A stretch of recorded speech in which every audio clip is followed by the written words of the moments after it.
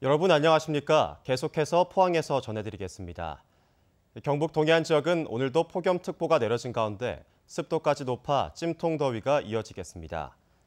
아침 최저 기온은 25에서 27도로 모든 지역에서 열대야를 기록했고 낮 최고 기온은 포항 35도, 경주 37도, 영덕 36도, 울진은 33도로 치솟겠습니다. 바다의 물결은 최고 2m로 일겠습니다. 미국 등의 보호무역 강화로 포항철강공단의 생산과 수출이 줄면서 지역 경기 회복세가 주춤하고 있습니다. 남북 경제협력 등 대외적인 돌파구가 없으면 경기 하강세가 장기간 지속될 것으로 전망됩니다. 임재국 기자가 보도합니다. 철강 산업이 주축인 포항 경기가 다시 하락세로 접어들었습니다. 포항철강공단의 생산액은 지난 3월과 4월에 늘었다가 5월과 6월에 큰 폭으로 줄었습니다. 미국이 보호무역주의를 강화하면서 전체적인 생산량이 줄어든 것입니다. 미국의 철강 제품 수입 규제 여파로 대미 수출 물량이 많은 방간 제조업체들의 수출이 큰 폭으로 감소하여 우리 공단의 생산과 수출이 감소하고 있습니다. 포항철강공단의 생산량이 크게 줄어들면서 경북 동해안 지역 전체 수출도 20개월 만에 감소했습니다.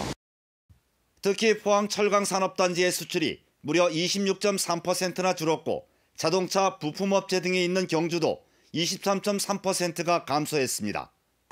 지난해부터 이어오던 철강 가격 상승세가 주춤했고 미국에 이어 유럽연합도 수입 물량을 제한해 악조건이 겹쳤기 때문입니다. 지금은 이제 전 세계가 물량으로 이제 쿼터를 제한하고 이러고 있기 때문에 그런 상황에서 지금 포항에 있는 철강 업체가 다른 시장을 새로 뚫기는 쉽지가 않고 가격으로는 중국에 상대가 안 되기 때문에 결국은 앞으로도 당분간 좀 어렵지 않을까 그렇게 보고 있습니다.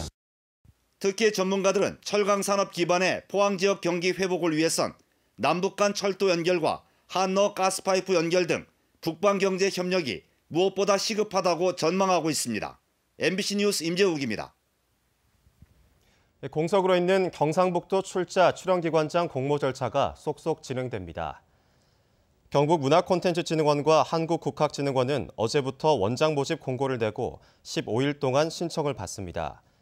취임 넉 달 만에 검찰 수사로 자리가 빈 경북경제진흥원장도 17일부터 공모에 들어갑니다. 경상북도는 다음 달 말까지 세계 산하기관장 임명을 마칠 계획입니다. 다만 경북관광공사 사장과 경주문화엑스포 사무총장은 도지사의 공약인 문화관광공사 설립과 맞물려 있어 임명을 유보합니다. 대구시와 경상북도는 단순한 협력과 상생을 넘어서는 경제 공동체를 실현하기 위해 어제 도청 화랑실에서 대구 경북 한뿌리 공동선언문을 천명했습니다. 공공선언문에 따라 앞으로 대구 경북은 기업 투자 유치와 기업의 역외 유출 방지, 특화 산업 육성, 농작물 유통 촉진에 협력하는 등 경제 공동체를 실현하기로 했습니다. 대구 경북이 당면하고 있는 통합 신공항 건설과 낙동강 맑은 물 공급 체계 구축에도 속도를 내고 대구와 인접 시군 간 도시계획 공동 입안 등에도 긴밀히 협력해 나가기로 약속했습니다. 영덕에 위치한 경북수산자원연구소는 13일 어제부터 포항에 있는 국립수산과학원 사료연구센터와 동해안 특화 품종 연구를 위한 업무 협약을 맺었습니다. 두 기관은 동해안 특화 품종을 산업적으로 활용하기 위한 사육 기술 연구와 배합사료 연구시설 이용에 대해 협력하기로 했습니다. 이번 협약으로 기존 강도다리와 넙치를 대체할 돌가자미와 문치가자미, 찰가자미 등의 새로운 양식 품종 개발이 기대됩니다. 경상북도가 포항 경주 지역에 거주하는 65세 이상 어르신을 대상으로 결핵 검진을 실시합니다.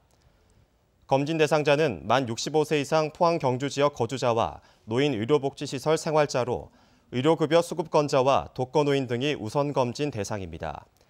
지난해 경북의 결핵 환자는 1,900여 명으로 2016년보다 10.6% 감소했지만 노인 환자 비중은 해마다 증가하고 있습니다.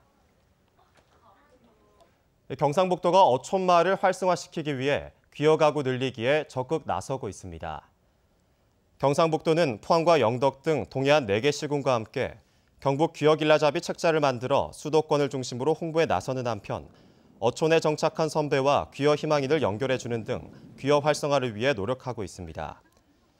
지난해 전국의 귀여 가구는 906가구에 그치는 등 아직까지 어촌에 새둥지를 트는 가구는 많지 않은 실정입니다.